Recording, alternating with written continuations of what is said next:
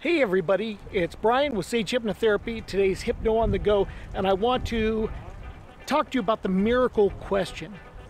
So, the miracle question, in essence, is let's say you go to bed tonight with all of your cares and all of your worries, all your concerns, all your issues, and in the middle of the night you had a miracle happen and they all went away. What then would that look like when you woke up? What would that be like when you got up the next day? How would it feel?